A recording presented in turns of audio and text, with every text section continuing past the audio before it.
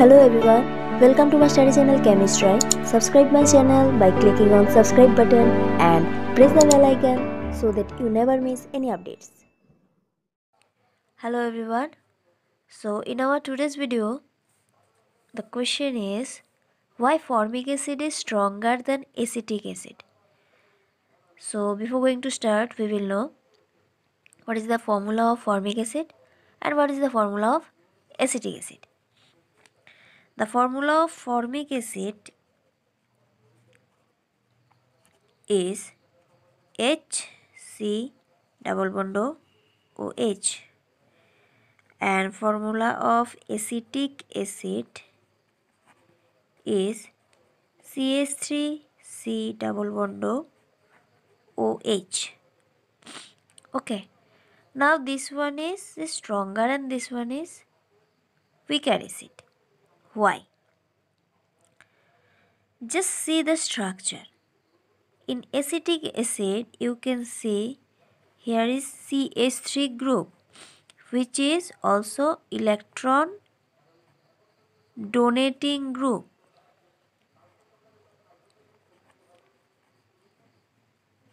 Okay. So CH3 group is electron donating group that means it contributes electron density towards the OH bond.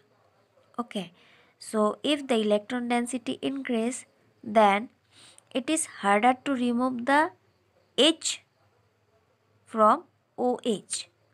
Okay, so if it is harder to remove the H, then less H plus is present in the solution. Then if less H plus is present in the solution, that means this one is weak acid. But just see in formic acid no CH3 group is present no electron donating group is present. Then this H we can remove this H easily. So in the solution more H plus is present. That means this one is strong acid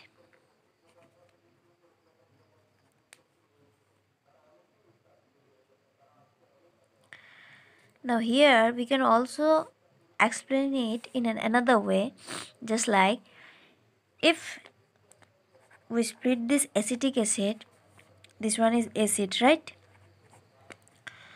If we split it we will get conjugate base that is CH3 C double bond O minus plus H plus.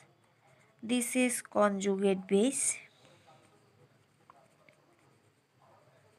and H plus now, if electron density increases, then this destabilizes the conjugate base by enhancing the existing negative formal charge on the deprotonated oxygen. Okay, that's why this acetic acid is actually weak acid. I hope this video is helpful to you all. If it is helpful then please don't forget to subscribe my channel. Thank you so much.